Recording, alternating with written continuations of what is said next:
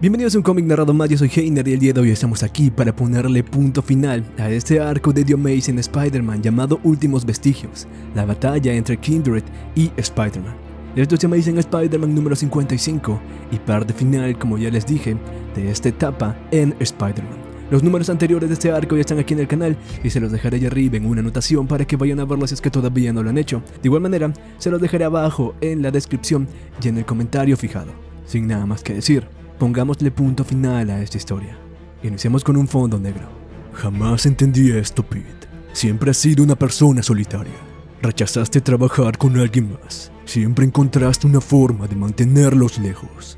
Pero entonces, un día, de pronto, estuviste rodeado de todos estos otros, usando tu símbolo, compartiendo tu nombre. Era muy diferente a como eras antes, hasta que me di cuenta de lo que intentabas hacer. Si el pobre huérfano Peter Parker no pudo tenerlo, al menos Spider-Man lo tendría, ¿cierto? Una familia. Allí teníamos a Kindred. Él había atrapado a Spider-Man y enfrente teníamos a todos los Spider-Amigos. Harry, por favor, para. Ellos no tienen nada que ver con esto. Oh, no estoy de acuerdo, Pete. Creo que ellos tienen todo que ver con esto. Ellos son un síntoma de un problema más grande, tu egoísmo. Algunos de ellos son solo niños, por el amor de Dios. Sabes que todo aquel que se enreda en tu red muere. Y aún así, no dejas de arrastrarlos dentro. Nada cambia nunca contigo, Pete. Quiero decir, mira esto. Te traje aquí para cenar con los muertos. Y ya estamos aquí otra vez. Pero debe terminar esto en algún momento, viejo amigo. Así que, comencemos. En ese momento él escucha. Solo termina con... Lo siento, Will. ¿Qué dijiste? Si vas a matarnos, mátanos. Pero ahórranos el discurso sobre cómo todo se trata de él. Ninguno de nosotros le pidió un permiso. Tú, por otro lado, te ves bastante obsesivo. Sabes, tal vez es mi perspectiva única, pero en realidad, tú no me recuerdas nada a ella. Aunque hay una cosa que sí me llama la atención. ¿Has notado cómo él tiene la mirada perdida, lejos de todos ustedes? Como en los viejos tiempos, Pete. Siempre tuviste la mirada fija en ella. Allí vemos a Mary Jane, en el cementerio. Peter la mira. Ella estaba entrando en un lugar oscuro. Peter solo podía gritar. MJ, no, sal de aquí. Tonterías, Pete. MJ, no lo escuches, por favor. Pasa. No sabes cuánto calor le da a mi frío corazón muerto. MJ había llegado a este lugar. Me alegro oírlo, Harry. Ah, entonces lo sabes. Bueno, así es mejor, supongo. Vamos, toma asiento. No sabes lo emocionado que estoy de ponernos al día. Las historias que te podría contar. Harry, no creo que... Oh, no seas así.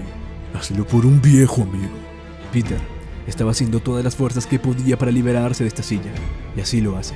Y se avalancha nuevamente contra Kindred. ¡Aléjate de ella! Y le da un fuerte golpe en toda la cara.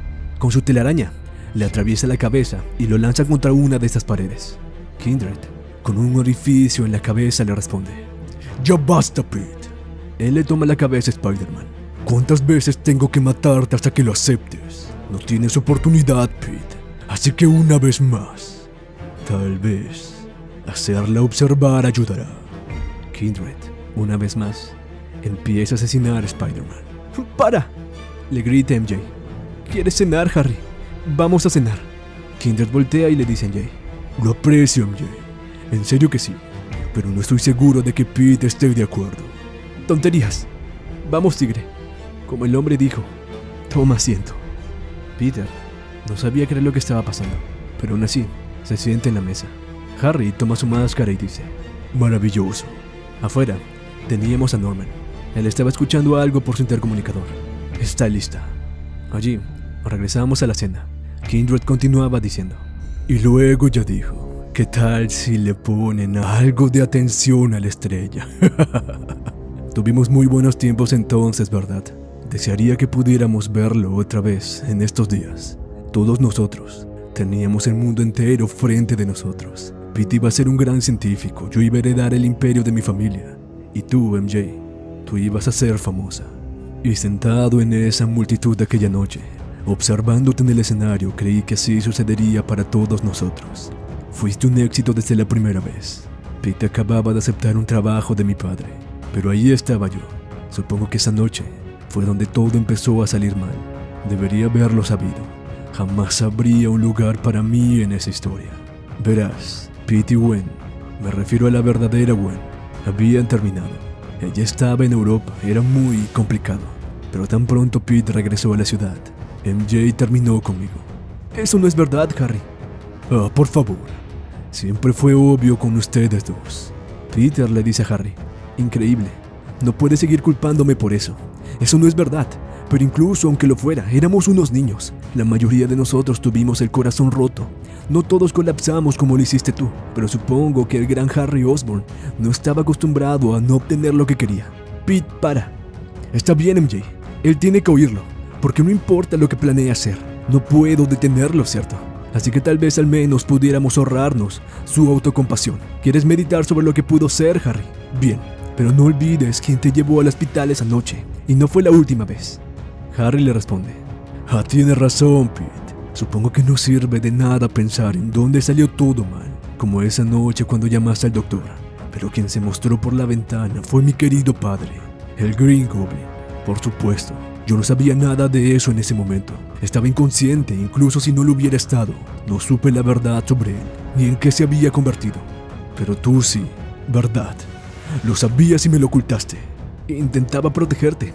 Sabía que eso te habría devastado. Tú lo admirabas. Él era mi padre, Pete. Tenía el derecho de saberlo. Era mi familia, no la tuya. Pude haberle conseguido ayuda. Tú solo lo dejaste escapar. Yo... yo no sabía que aún era una amenaza. Sufrió de amnesia luego de nuestra batalla. Ni siquiera recordaba haber sido el Goblin. Ya estamos. Allí está la mentira. Lo dejaste ir por la amnesia. Sí, Pete, es verdad. Pero no porque no recordaba quién era él. Fue porque él no recordaba quién eras tú. No, no puede ser. Sí, algunas veces ni siquiera recordamos las mentiras. Tenías que guardar tu secreto.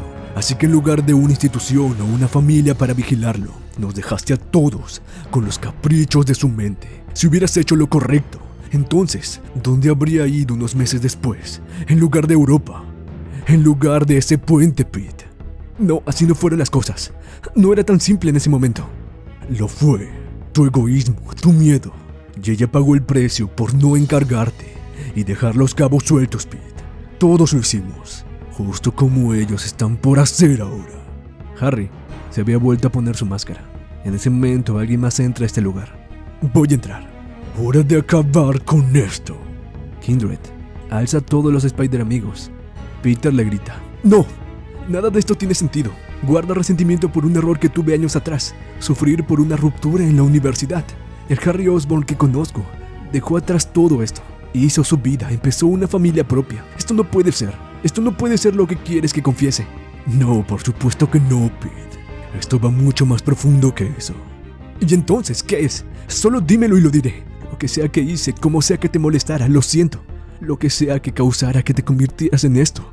Me convirtiera. Tú me hiciste esto. Kindred vuelve a golpear a Spider-Man. Él no lo recuerda. Lo ves, ¿cierto? Aunque esté tan enojado, ahora mismo diría lo que fuera para salvarnos. Así que por favor no hagas esto, le dice MJ a Harry. Sabes, de camino aquí estaba pensando en la noche antes que... antes que te alejaras. Estabas vestido como el Goblin. Nos habías aterrorizado por semanas. Me llevaste volando hasta el puente. Estaba demasiado asustada. Pero entonces me dijiste algo, ¿lo recuerdas? Jamás te lastimaría. Eres mi amiga, una de las mejores amigas. Y yo te creí, Harry. Aún te creo. MJ, no lo entiendes. Yo no soy quien está haciendo esto. No soy quien va a lastimarte, sí. No pudiste verlo aquella noche y aún no puedes hacerlo. Él es muerte, muerte y perdición para todos nosotros. Hay tanto que me gustaría explicarte, pero tienes que saber. Esto debe terminar ahora. Entonces termínalo aquí conmigo. MJ. No, escúchame. Buscabas una confesión de él, pero yo también te debo hacer una. Yo... Yo no siempre fui para ti la amiga que merecías en esos días. Yo estaba pasando por mucho. Pero si eso tuvo algo que ver con cómo llegaste aquí, debería ser quien tome la responsabilidad. No. Vamos, Harry. ¿Qué sería peor para él que perderme? Solo, solo perdónalo a él y a los demás. Solía siempre hablar de tu legado bueno. Esto no es parte de eso. Llevándote a alguien que él ama. ¿No es esto más simple, más limpio? Yo te maldigo, Mary Jane. Solo prométeme que terminará conmigo. En eso, una voz más escucha. No puede. Niña, esa no es su decisión. Ya es suficiente diversión, niño. El Green Goblin había llegado. No, ahora no, Norman. Y no así. Oh, cierto. Es que querías tenerme controlado, debilitado para ese sirviente tuyo antes de tener el valor de enfrentarme. Siempre fuiste un cobarde. Pensaste que no estaría preparado para tu truco de magia luego de la primera visita que me hiciste en Ravencroft. No, eso es imposible. Pobre Harry, intentando tomar el camino fácil otra vez. Bueno, supongo que eso es lo que me gano por mi Marte. Ahora, déjalos ir. No, tengo que hacer esto. Además, ¿qué te importa? Tú los odias. Me importa porque son míos. Él lanza una de esas calabazas explosivas, justo enfrente de Mary Jane, y ella sale volando. ¡MJ! Harry va a rescatarla. ¿Qué has hecho? Lo que jamás tuviste el valor de hacer. No se supone que fuera así. Oh, vamos. Ella era una chica adorable. Sí, pero ella fue incluso mejor como carnada. Harry mira muy enojado a su padre. No, tú arruinaste todo. Te mataré. Veamos si lo intentas, niño. Muéstrame cuán poderoso te has vuelto. Vamos, ahora. Ambos se dirigen a combatir. Allí afuera teníamos al Kingpin. Él escucha. Ahora, Fisk, ahora. Este dice, empiecen. Todo el lugar empieza a retumbarse. Una entidad muy oscura empezaba a apoderarse del lugar. ¿Qué es esto? Kindred mira lo que iba pasando y dice, la oscuridad. Por otro lado teníamos a Peter, abrazando a MJ. MJ, silencio, no te preocupes.